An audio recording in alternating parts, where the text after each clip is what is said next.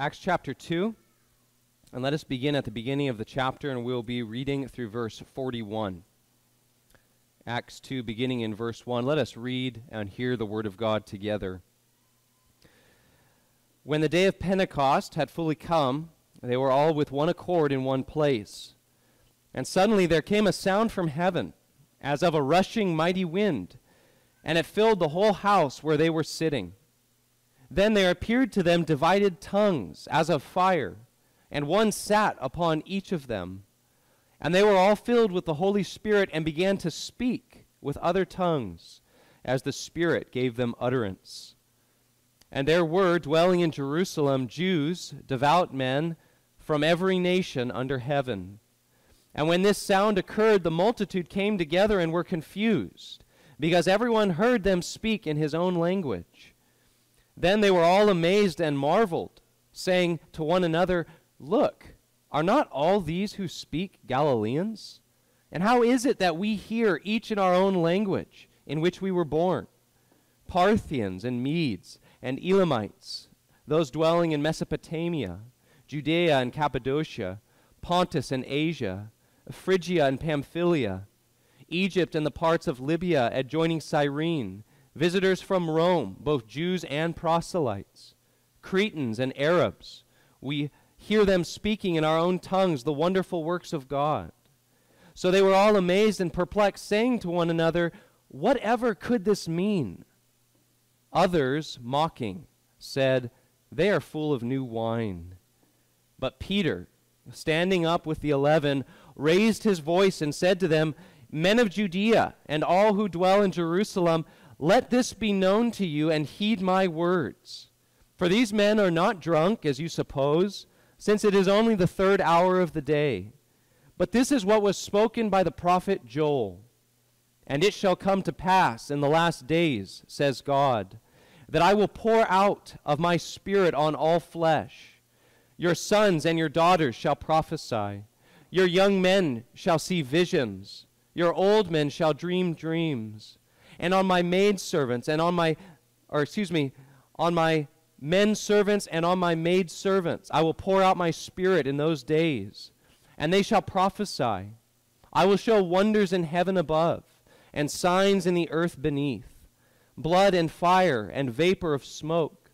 The sun shall be turned into darkness, and the moon into blood before the coming of the great and awesome day of the Lord. And it shall come to pass that whoever calls on the name of the Lord shall be saved. Men of Israel, hear these words Jesus of Nazareth, a man attested by God to you by miracles, wonders, and signs which God did through him in your midst, as you yourselves know. Him, being delivered by the determined purpose and foreknowledge of God, you have taken by lawless hands have crucified and put to death, whom God raised up, having loosed the pains of death, because it was not possible that, sh- that he should be held by it. For David says concerning him, I foresaw the Lord always before my face, for he is at my right hand, that I may not be shaken. Therefore my heart rejoiced, and my tongue was glad. Moreover, my flesh also will rest in hope. For you will not leave my soul in Hades, nor will you allow your Holy One to see corruption. You have made known to me the ways of life. You will make me full of joy in your presence. Men and brethren, let me speak freely to you of the patriarch David, that he is both dead and buried, and his tomb is with us to this day. Therefore, being a prophet, and knowing that God had sworn with an oath to him, that of the fruit of his body, according to the flesh, he would raise up the Christ to sit on his throne. He, foreseeing this, spoke concerning the resurrection of the Christ, that his soul was not left in Hades, nor did his flesh see corruption. This Jesus God has raised up, of which we are all witnesses. Therefore, being exalted to the right hand of God, and having received from the Father the promise of the Holy Spirit, he poured out this which you now see and hear. For David did not ascend into, into the heavens, but he says himself, the Lord said to my Lord, Sit at my right hand, till I make your enemies your footstool. Therefore, let all the house of Israel know assuredly that God has made this Jesus, whom you crucified, both Lord and Christ.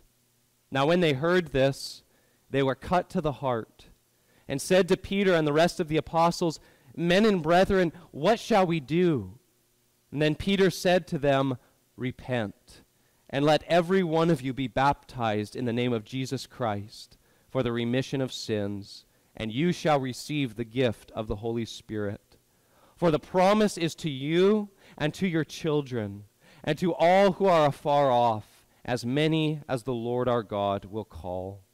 And with many other words he testified and exhorted them, saying, Be saved from this perverse generation. Then those who gladly received his word were baptized, and that day about 3,000 souls were added to them. And they continued steadfastly in the apostles' doctrine and fellowship, in the breaking of bread and in prayers. Amen. May God bless the reading of his word. And let's now go to God in a time of prayer to seek his blessing on our time in his word. Let's pray.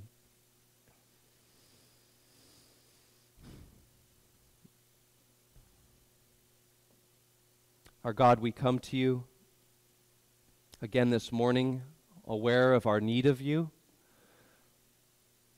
Our Father, we pray that you would grant us your Spirit to understand your word, and not only to understand it, but to submit to it and to believe it.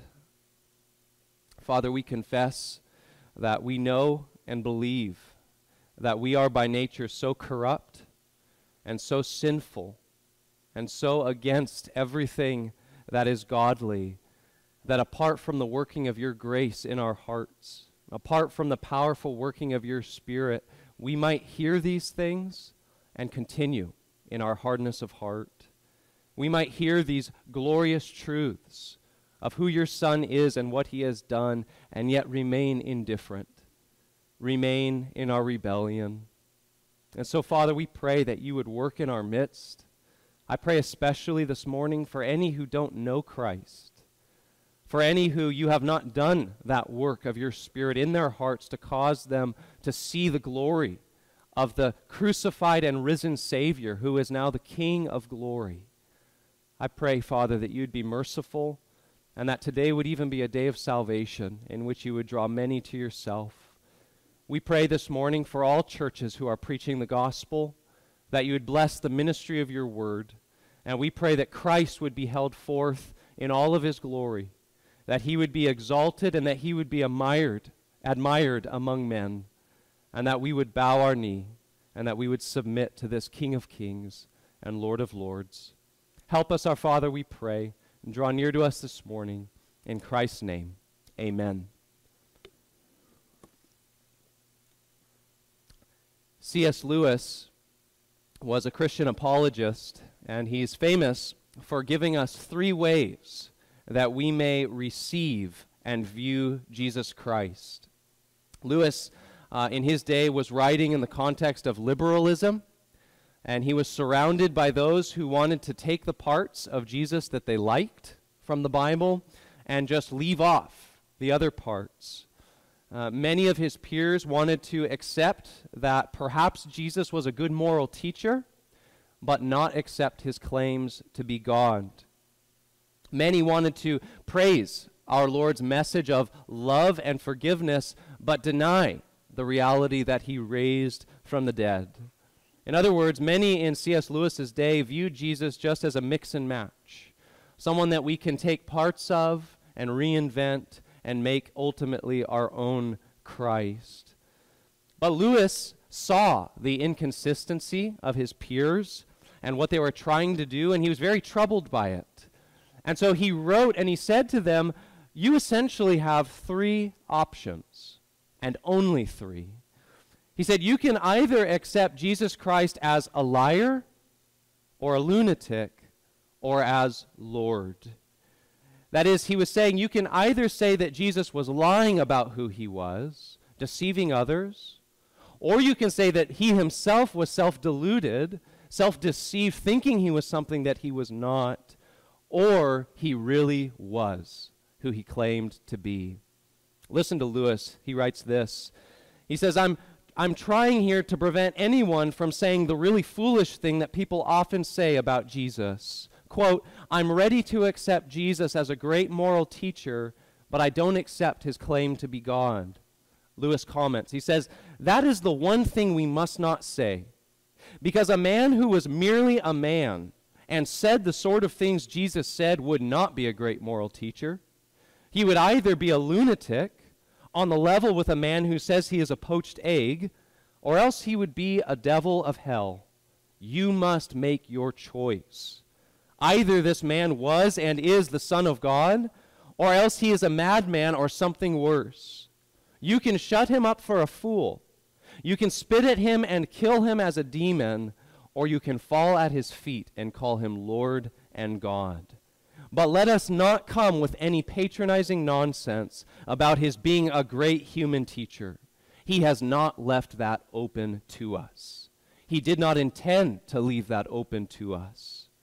Now, it seems to me obvious that he was neither a lunatic nor a fiend and consequently, Lewis says, however strange or terrifying or unlikely it may seem, I have to accept the view that he is God.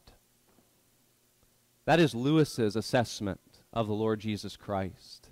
That's also the Apostle Peter's assessment here in verse 36. But what I want to press upon all of us this morning, to quote Lewis, is this reality we all must make our choice. What will we think of Jesus Christ? How will we own him in our heart of hearts? Will we own him as a liar, someone who deceived? Will we own him as someone who was confused? Or will we humbly bow down and acknowledge him that he is Lord and God? I want to open up uh, briefly this morning Peter's sermon under two very simple and straightforward headings as he confronts his listeners with the reality of who Jesus Christ is and what Jesus Christ has done. I want to impress all of us and encourage all of us to realize that just as Peter was confronting and demanding a verdict and a response from his listeners 2,000 years ago, so now today as we open up the Word of God, God is making that same demand of all of us. That we are being presented with a person here, and we must have a response towards him. And so we, I want to jump into Peter's sermon at verse 22.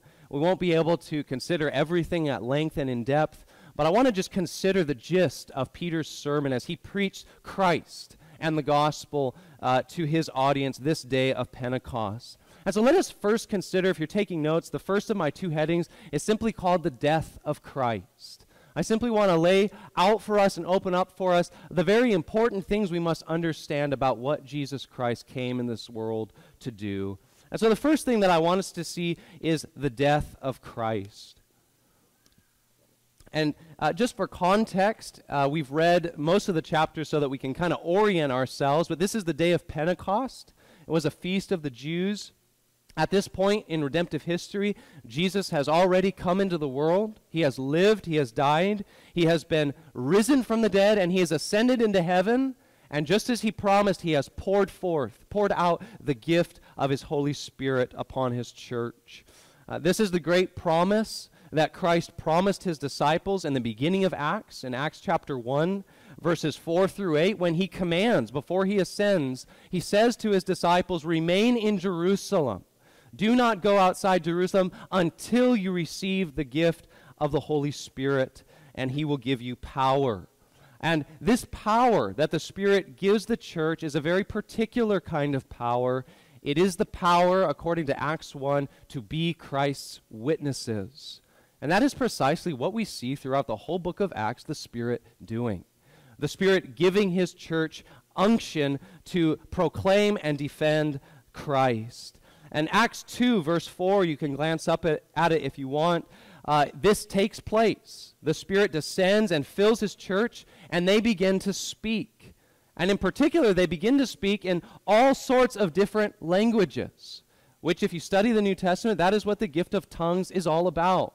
It is about the Spirit giving His people the ability to speak the gospel in languages they've never learned, such that all of their audience who was present, even though they weren't natives of Jerusalem, even though they spoke different languages from those who were from Galilee, they were able, verse 6, to understand everything that the, the disciples were proclaiming to them. I think sometimes we can become so used to these passages of Scripture that we don't stop to think about how amazing that would have been to witness. Just a, a handful of disciples all of a sudden standing up and being unctioned by giving being given unction by the spirit of god to speak of christ in all sorts of languages that they've never heard they've never given themselves to learn and their audience is hearing for the first time about the gospel of christ about what has just taken place in these last weeks here in Jerusalem, the center of God's redemptive purposes.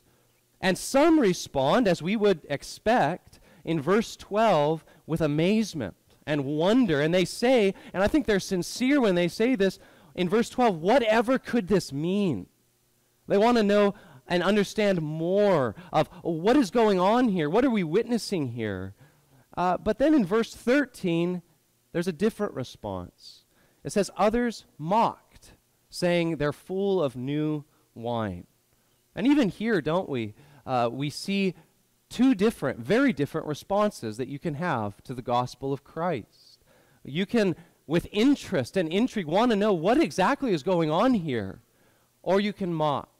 And you can chalk it up simply to a bunch of men who have been drinking too early in the morning. But the disciples know better.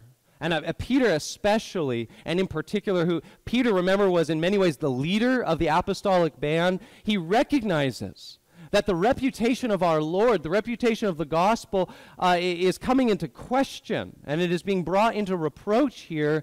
And he understands that a defense is necessary, an apologetic needs to be given. And so he stands up in verse 14 and he raises his voice and he does exactly what the Spirit was given him to do. He begins to proclaim Christ, he begins to proclaim the gospel.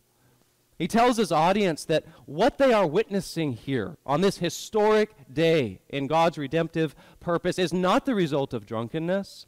It, he says it's only nine in the morning.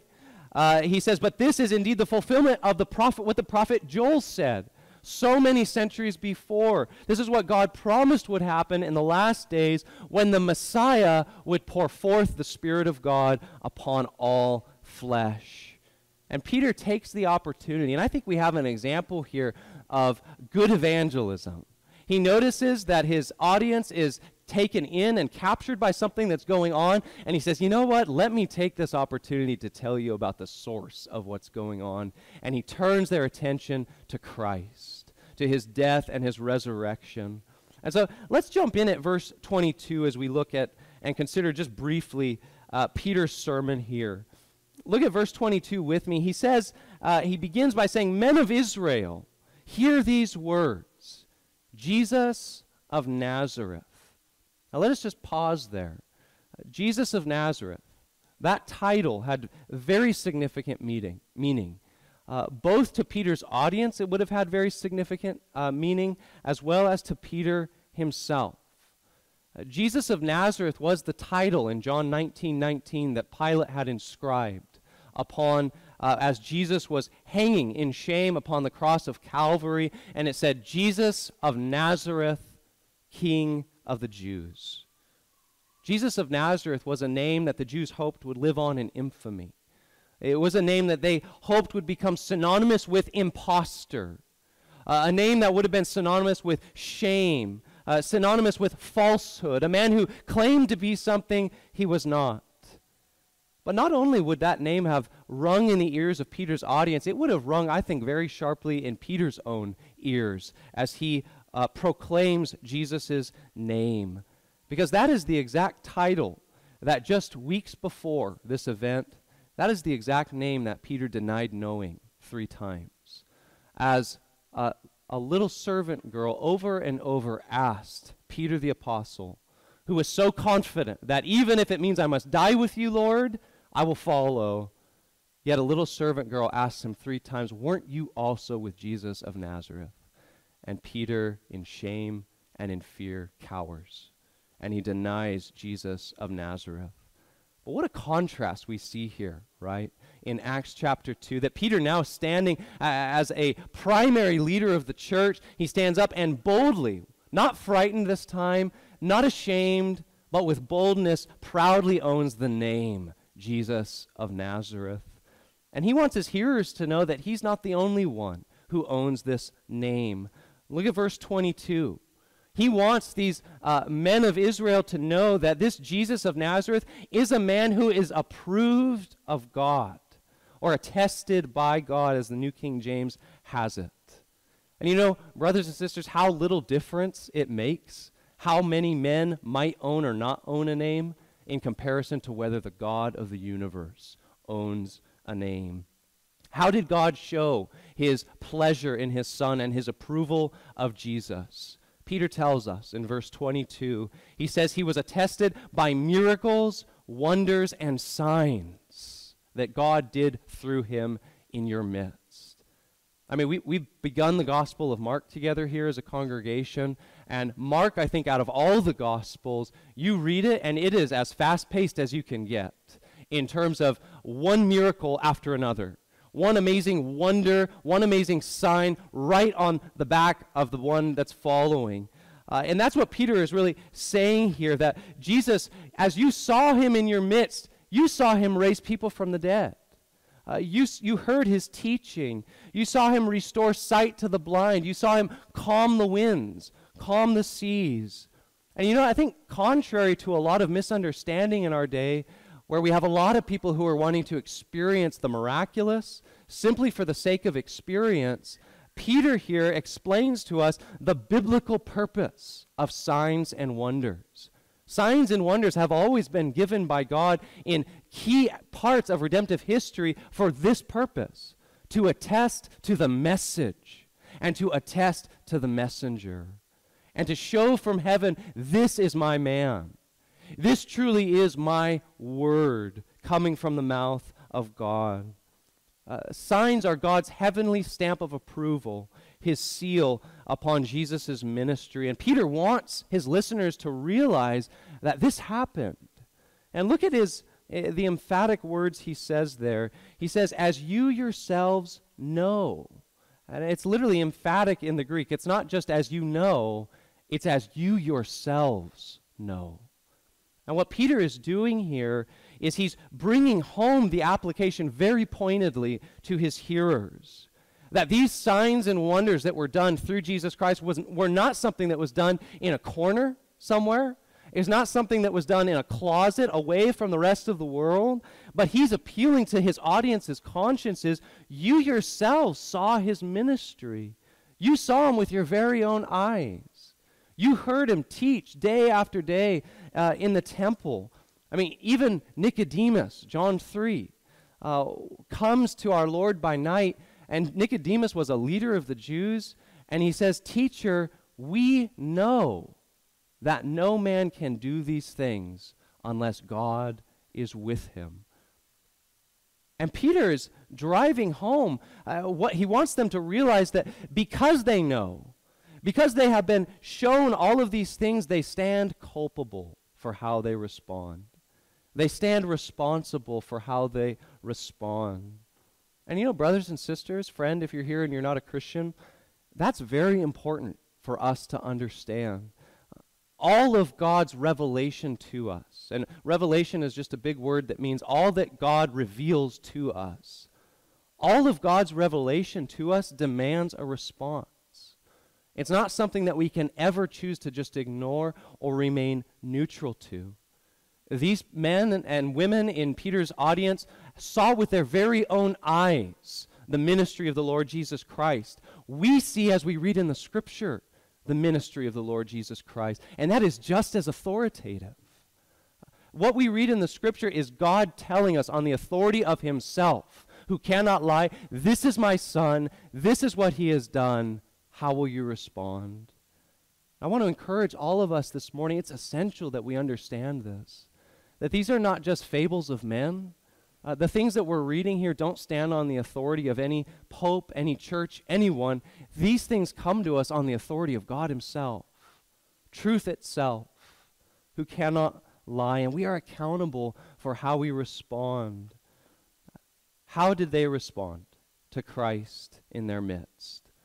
Well, they responded, the Jews, just as we all would have responded, apart from the grace of God. Look at verse 23.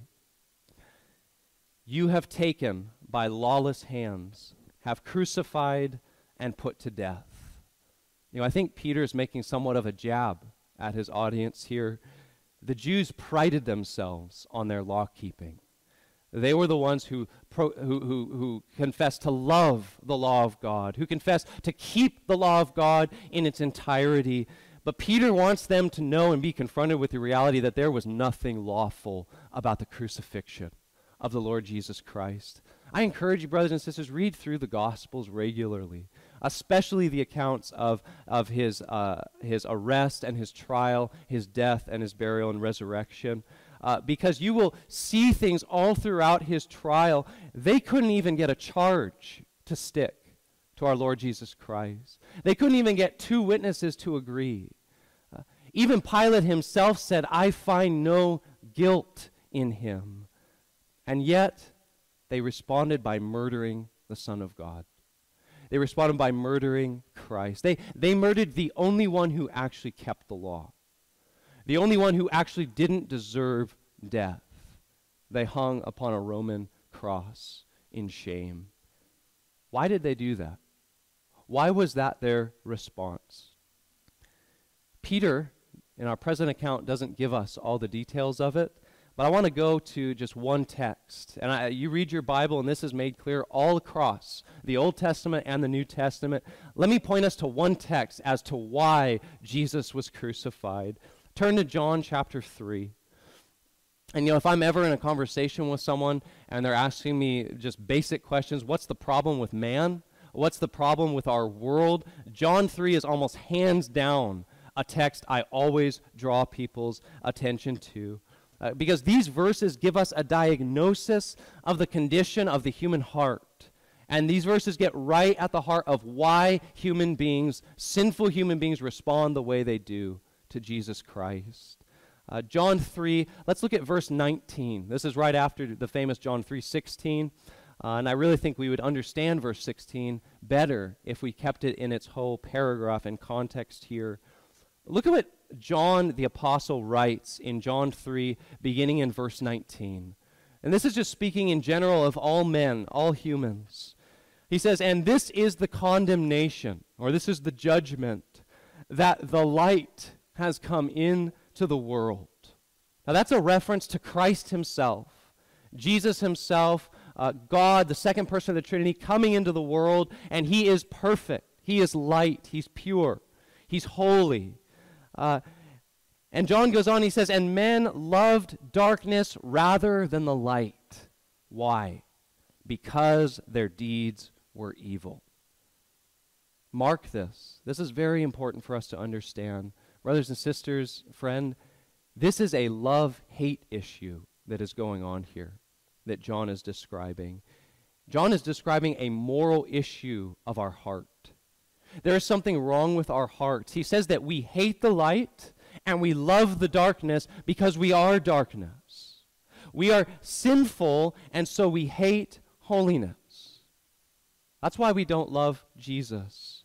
Uh, Jesus is opposed to everything that is dark, and he exposes the darkness. And that's why we don't love him. Look at verse 20. That's exactly what John says. For everyone who practices evil hates the light and does not come to the light, lest his deeds should be exposed. But he who does the truth comes to the light, that his deeds may be clearly seen that they have been done in God or wrought by God. You see that? That is why they crucified the Lord of glory. That is why they, they crucified the perfect, sinless Son of God. It wasn't because he didn't do a good enough job explaining who he was. I think that's what many people think. And that's, in fact, what the Jews wanted him to think. That's why they continued to ask him, Give us a sign. If you just give us more signs, we'll believe. The issue was not that they needed more signs, the issue is that they didn't like the signs that they had been given. They didn't like the one who had come into their midst and into their presence. It's very important for us to understand lack of information is not the problem of our unbelief in Jesus Christ. They knew, just as Peter says, you saw. Your minds computed. This is the Son of God. There is no other logical explanation. This is who he is. Brothers and sisters, our problem is that we hate the light by nature because we love darkness, because our deeds are evil. And we know that if I admit that he is the Son of God, that means I have to give up my sin. And I don't want to do that. Right? Our problem is that we have a moral aversion to all that is good. And that's what it means to be a sinner. That's what it means to be sinful. We have deliberately turned away from our Creator. We have rejected Him because we didn't want Him. And we have turned inward to love ourselves, to serve ourselves, to set ourselves up as our God and our King. And any light that seeks to break in, any light that seeks to shine on that and expose that reality, we hate. And so, what is our response apart from the grace of God? We need to extinguish the light. We need to get it out of here. Just let us go on and live in our darkness.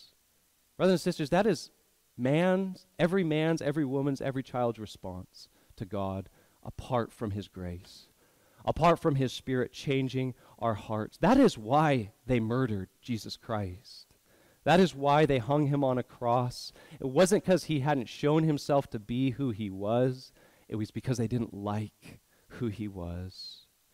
But you know what? They didn't win. John's gospel opens up with the words that the light shines in the darkness, and the darkness has not overcome it. These men's lawless act, as they tried to extinguish the light of the world, were unbeknownst to them actually carrying out the eternal plan of God to save his people. That's exactly what Peter says. What a, what a sermon on God's sovereignty. He doesn't explain it all, he just asserts it. This is what's going on here. Look at verse 23. Peter says, This Jesus, being delivered by who? Not by men, being delivered by the determined purpose and foreknowledge of God.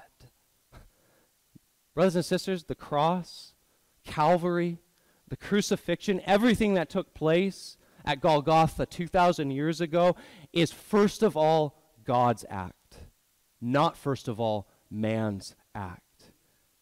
The, the, the, the crucifixion was not the failure of God's purposes, it was the fulfillment and the bringing to pass of all of God's purposes. God the Father delivered the Son to death. He didn't just permit it, He didn't just allow it, but He purposed it. He delivered him. And, Christian, let me encourage all of us we don't need to blush at that in the slightest. Oh, we don't need to be ashamed in saying that as though that's controversial or, or, or, as though that's even offensive. Some have even had the audacity to call this divine child abuse. And they reject just out of hand anyone who could possibly believe God the Father would actually deliver his precious Son to bear the sins of his people. Brothers and sisters, we don't have to be ashamed of this. In fact, we need to own this proudly and with joy and with adoration because this is the very foundation of the gospel. Without this, not to overstate it, just like without the resurrection, you don't have a gospel, without the Father delivering the Son, you don't have a gospel. Because without divine intention, if there is no divine intention in the cross, then the crucifixion of Jesus was nothing more than a mere historical, great miscarriage of justice and nothing more. If God has nothing to do with it, God cannot be saving his people through the events that transpired at Calvary. Stick close to Romans 8, verse 32, which says, He, talking about the Father, He who did not spare his Son, but delivered him for us all, how shall he not with him also give us all things? Brothers and sisters, this is the glory of the gospel. This is what we celebrate on Resurrection Sunday that when Christ died, though he was put there by the evil hands of lawless men, it was not without purpose. And it was fulfilling the eternal purpose of God, that God the Father was putting Christ forward as a substitute for his people, to bear in his body their sins, to redeem them from the curse of sin by Christ becoming a curse for them. That is what this is all about. And Peter wants his audience to know you didn't win. You think you win. You think you extinguished the light. You actually did the very thing God has intended from the very beginning of all of his decrees to exalt his son. And he's going to raise him from the dead, and he's going to ascend, and he's going to sit down at his throne, and he's going to be the King of kings, the Lord of glory forevermore. That's what Peter is declaring here. Now, the question for us, brothers and sisters, is how do we know that Christ's death was a success? How do we know that it was a success? And that is what Resurrection Sunday is all about.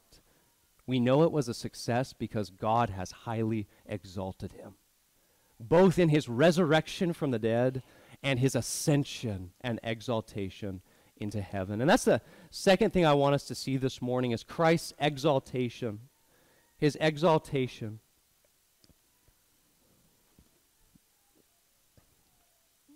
You know, it's good for us, and I already encouraged us in this. It's good for us, brothers and sisters, to be reading through the Gospels and the life of our Lord Jesus often, uh, especially the events of his uh, uh trial and his death and his resurrection, because each Gospel presents the events surrounding the end of Christ's life in a different light. I was reading Matthew uh, this week, just as we were going through uh, the week approaching Good Friday and, and uh, Easter Sunday. And I was reading especially Matthew 27 and 28, and two things struck me as I read through the Gospel of Matthew. One is how clear and convincing the evidence for Jesus' resurrection was. Just undeniable. People witnessed it, people saw it, it was a fact. But the second thing that struck me was how, apart from the Spirit working in men's hearts, they will continue to harden their hearts against even the clearest of evidence. Uh, I was reading the chief priest. You can read this later on your own. The chief priest in the end of Matthew's gospel, uh, immediately following Christ's death, they go to Pilate and they say, quote, this deceiver, that's what they call him, this deceiver said while he was still alive that he would rise from the dead after three days. Therefore, Pilate, command that the tomb be made secure so that his disciples don't come in the middle of the night and take him and say that he's been risen from the dead. And so, how does Pilate respond? He says, Okay, do it. You have guards. Go ahead. Make it as secure as you possibly can. And isn't that just a, an illustration in itself of the arrogance of man? we're going to seal God in a tomb. We're, we're going to put a couple guards on it, and we're going to make sure that this Jesus does not come out of the tomb. Uh, as though they had the ability to do that. Um, and so Pilate tells them to do it. And then the first day of the week, Sunday, comes around. And what happens? As the two guards are there, the angel of the Lord descends. And a massive earthquake takes place. The stone is rolled away from the grave. And it, the guards, it says, they shook with fear and became like dead men. Isn't that how men in the Old Testament always responded when they saw God? they became as dead men and they thought that they were going to die. And rightly so. Right? Christ is risen. Christ has risen from the dead and they are seeing this take place before their very eyes. That is an appropriate response to become fearful and to become as dead men. But the amazing thing is what happens next. They go and they tell the chief priest what had just happened that the stone was rolled away miraculously. Christ has been risen. He's alive. And you know how the chief priests respond? Not in fear, not in repentance. They respond by telling the guards, Here, take our money, and go and tell everyone that his disciples came at night and stole his body away. And if Pilate hears about this, don't worry. We'll appease him, and you won't be bothered. That's how the chief priests responded even when their own guards come back and tell them, He's risen. There is no other, there is no human explanation for what we just saw. He is alive. This man who died three days ago and was buried and was really dead, he just walked out of the tomb. And still, the chief priest's response is, We won't have it. But Peter wants them to know again in his sermon here in Acts 2 what they already had seen, what they already know, uh, knew. And he declares in verse 24, if you're not in Acts 2, you can go back there. Acts 2, verse 24, he says, Whom God raised up. Four little words, but with infinite implications. Whom God raised up. Brothers and sisters, I want to encourage us. Let the glory of the resurrection hit you afresh this morning. Those are wonderful words whom God raised up. Not, not just to say on Easter, on Resurrection Sunday, once a year. Those are wonderful words all year round. Because those four words explain why the church even exists right now. Because Jesus is not dead, but he is risen. Because he has been successful in what he came to earth to accomplish, and God has proved that by raising him from the dead. Uh, there was a hymn, I wanted to sing it. We used to sing it at Emmanuel. Um, and it was it's just a hard song to sing and there's two different parts that are just very difficult and i thought that probably without a piano player it's too risky to go for and we might get lost in it um, but go home and just and s- go read over the lyrics of this hymn uh, but the chorus says up from the grave he arose with a mighty triumph over his foes he arose a victor from the dark domain and he lives forever with his saints to reign and then the refrain is, He arose. He arose. Hallelujah. Christ arose. Brothers and sisters, I don't think that we say, Hallelujah, Christ arose often enough. And that we feel that reality in our heart. And that we can come to view these things as common and ordinary. Jesus has risen from the dead. And that is the only basis of all of our hope. That is the foundation upon which we stand. That that is what the truthfulness of Christianity hinges upon, is the literal bodily resurrection of Christ from the grave. Because uh, if he is uh, dead, then he is a fraud. If he's dead, he is like every other man who claimed to be something but clearly wasn't it. But if he is alive, he is Lord. If he's alive, he is King.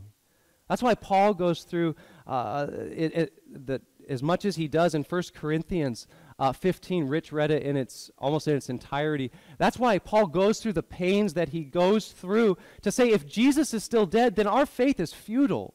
Uh, we're still dead in our sins. Our preaching is pointless, and we are of all people most to be pitied. But if he's been raised from the dead, then that means that everything he said about himself is true. That he was who he said he was, and he did what he said he came to do. That's why Paul opens up the uh, book to the Romans, chapter 1, verse 4, saying that Christ was declared to be the Son of God with power through the resurrection of the dead. All the other signs that God did through him were evidence enough to show that he was who he was. But the resurrection is the pinnacle, it is the greatest sign. This is my beloved Son. Look at verse 24. Uh, Peter says that Christ has uh, loosed the pains of death. He's loosed the pains of death in verse 24. And that word loosed literally has to do with the idea of breaking free from cords, uh, breaking free from something that was binding us. And Peter is drawing the picture here that Christ was imprisoned, as it were, and bound for our debt. Uh, that is why Christ died. Peter's uh, telling us that the justice of God for sin demanded that someone be thrown in prison, someone have to, has to die, someone has to bear the penalty. And all of us this morning, brothers and sisters, know that it should have been us. That's what we deserve. It should have been us hanging on the cross. It should have been us dying, suffering the wrath of God. But Peter wants us to know that, that Jesus has borne it for us. And because there is nothing that can that God's demands can hold upon Christ and demand of Christ that he has not paid, look at what uh, Peter says here. He says that it was impossible for Christ to be kept. I think what Peter's saying there is that Peter went into the, or that, excuse me, not Peter, Jesus went into the tomb to be bound, the penalty that we deserve, but because he has borne it, because his work is satisfactory, death has no claim on him.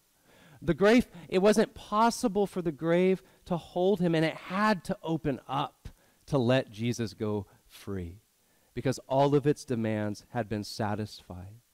I think it was a Puritan who said that Christ was like a poison to death. And death swallowed him, thinking that it had gained the victory. But Christ, as it laid in death's belly, was a poison that made him sick, and he had to give back his prey. That's what's going on here. Christ is conquering death for his people. Uh, Peter goes on in verse 24, or verse 25, excuse me. Uh, look what he says. He, he goes on, not only is this something that they saw with their own eyes, but Peter wants to show them that this is something that the scriptures foretold would happen. And he quotes from Psalm 16, verses 8 through 11. Uh, psalm 16 is a psalm of David. David was God's king. Uh, read what Peter quotes. He quotes it in, in the entirety. Uh, psalm 16, 8 through 11, beginning in verse 25 here.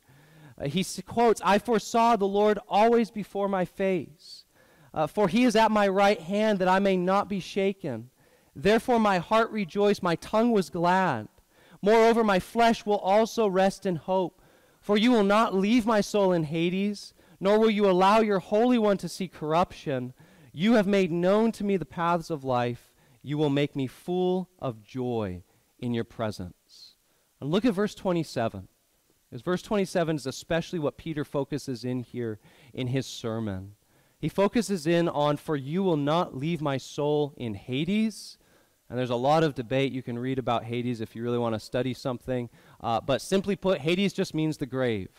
Uh, it just means that the grave. It almost always translates the Old Testament word Sheol.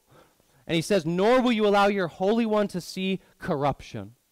Now, how does Peter quoting this psalm prove his case? How does it help his argument that Christ really has raised from the dead? Well, look at how he applies it. Look at verse 29. He says, Men and brethren. And you know, just a side note, I think we could preach a sermon on this. We see here how polite Peter is to his audience.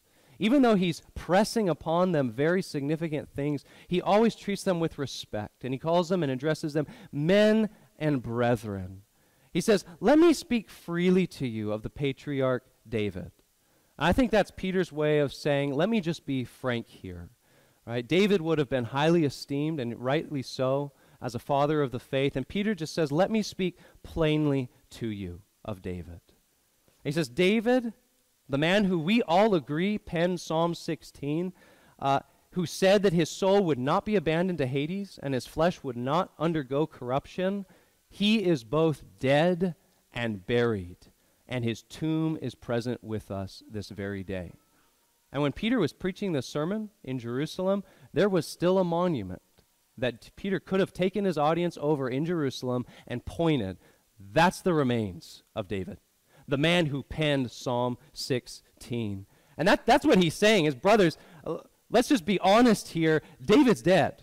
David's in a tomb. He did see corruption. Okay?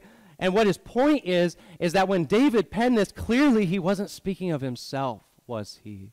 And so there's only one conclusion. Verse 30 he was a prophet, speaking of another who was to come. David was speaking of his greater son who was going to come into the world. And remember, brothers and sisters, Scripture has two authors. Whenever we're reading the Bible, it's important that we remember that. Scripture is both human and it is divine. And the human writers, when they wrote, they really wrote what they wanted to write. They wrote what they were experiencing. That's why we can see different styles when we read Peter and Paul and, and David.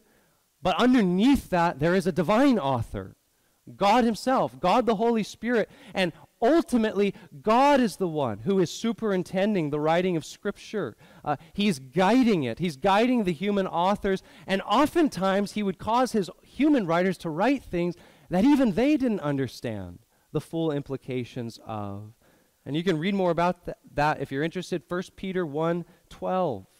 But David here, according to Peter, when he wrote this psalm, he was conscious of God's promise to him that God made in 2 Samuel 7. Uh, and he seems to have understood, at least to some degree, that as he penned these words, he wasn't speaking of himself, but he was speaking of the Christ. He was speaking of his greater Son who would come, as verse 31 says. Uh, God promised David in, in 2 Samuel 7 that he would set a king upon David's throne forever, and his kingdom would be forever, and it would know no end. Except there's only one problem with that when your kings keep dying. David died, Solomon died, all of the other kings of Israel died. And so, how was God going to keep his promise to set someone on David's throne forever? He was going to keep it in the person of his son, Jesus Christ, who did die, who tasted death for his people, but who rose from the dead and lives forevermore and will never die again. And, you know, I want us to notice something here also, brothers and sisters, that's very important. And perhaps this is something we don't focus on as much, uh, just in general, and especially on, on Resurrection Sunday. But it's important for us to understand that there are essentially two parts to Jesus' exaltation. There is first his resurrection from the grave, which is glorious, it's magnificent, and we should stand in awe of it. But the resurrection is not the end of his victory, it's the beginning of his victory. And the second part is that not only does he raise from the dead, but he then ascends into heaven and takes his seat as King of Kings at the right hand of God. You know, that's the last uh, line of that hymn that we sung this morning actually captures that beautifully. Uh, the very last line describes Christ. It says, dying in weakness, but rising to what? Reign.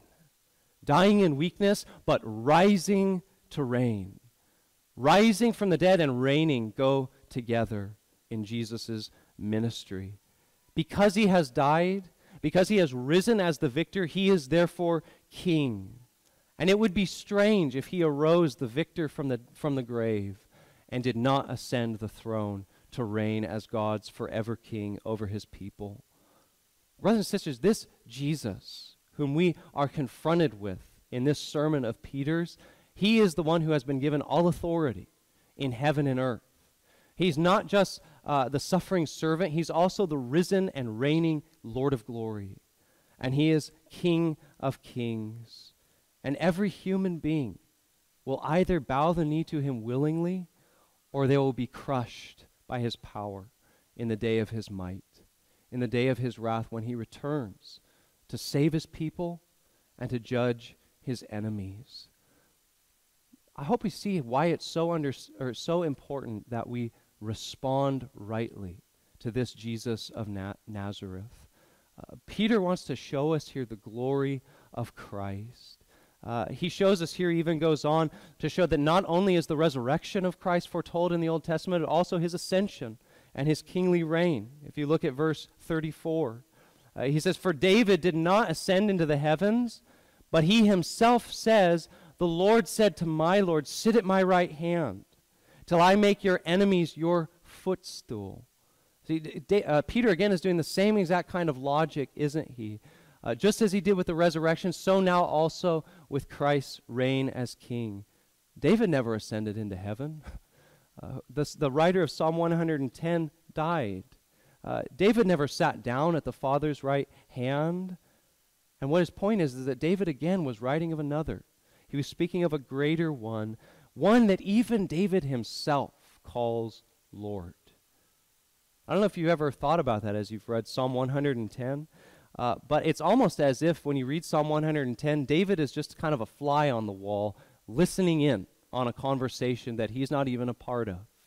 Uh, Psalm 110 opens up The Lord, Yahweh, is saying not to David, but to David's Lord. The Lord said to my Lord, Sit at my right hand. You know, that stumped the Jews. Jesus actually stumped the Jews with that very question in Matthew 22. They couldn't understand how could the Christ be both the son of David and David's Lord? They had no category for how that could be. And the only way it could be is if the Christ was both the son of David that is, according to the flesh, descended from David, which he was, his earthly mother, Mary, and if he was divine. God become human. God in the flesh. That is why he is both David's son and David's Lord. And that is what Psalm 110 is describing. Is Yahweh the Father saying to David's Lord, the Son, sit at my right hand, and you will reign forever, and I will make your enemies a footstool. Brothers and sisters, friend, Jesus is no common king. He's not just an earthly man. Uh, he is a man, but he is also divine. And he is the one, that is why he can make claims like he does in John's gospel. He says, I have authority both to lay my life down and I have authority to take it up. No one can say that but God. And that is why it is so important, brothers and sisters, that we respond rightly to this Jesus. That this is the Jesus with whom we have to do.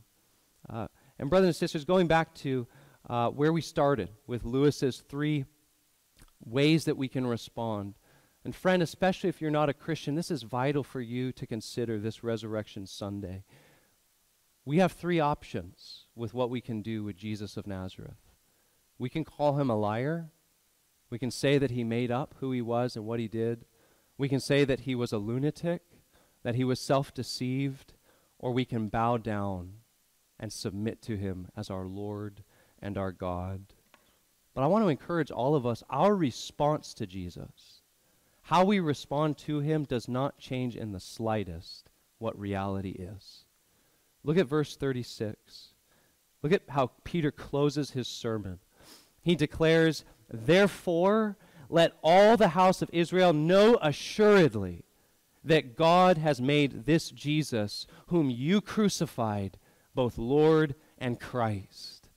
That is my job as a preacher of the gospel. It's not to stand up here and tell you stories. It's not my job to stand up here and say that it's probable that this is the truth. But it's my job to say, no, assuredly, God has made this Jesus of Nazareth both Lord and Christ. That is reality. That is truth. And the question is not whether it's true, the question is how are you going to respond? And God, in His mercy, gives you opportunity right now to respond rightly, to be saved from your sins, to know what it is to be forgiven for your sins by trusting this reigning and conquering King. Verse 37 tells us how some in Peter's audience responded that day. Look at verse 37. It says, Now when they heard this, they were cut to the heart and said to Peter and the rest of the apostles, Men and brethren, what shall we do? My friend, it's my prayer this morning that that would be the response of your heart. That you would cry out in your heart, What must I do? You know, I pray, and this is something we should pray for everyone, that you would be cut to the heart. Because you know what? It takes the Holy Spirit to be cut to the heart about our sins. And that is actually the grace of God to cut us to the heart, to feel our sins, to feel our guilt. Uh, without the Spirit, we will just continue, just like the Jews continued in their hardness of heart against all the evidence in the world. If the Spirit doesn't actually work in our heart, we can hear all the preaching we want. We can have Jesus set before us in all of his beauty, all of his glory, and we will continue just to remain indifferent. And we will continue just to reject him. And so it's my prayer that you would respond by being cut to the heart and that you would cry out, What must I do? And the Bible makes very clear what you must do. Look to the remedy that God has provided in his Son the Lord Jesus Christ. Jesus Christ stands ready right now to receive guilty sinners like you and like me. The gospel is not for elite people, it's not for a certain category of people, it is for everyone in the category of sinner. And that is every single person on the face of this planet. Jesus Christ is for you. And he stands ready, promising if you'll come to him in faith, if you come to him owning the guilt of your sin, owning the reality that you don't deserve redemption.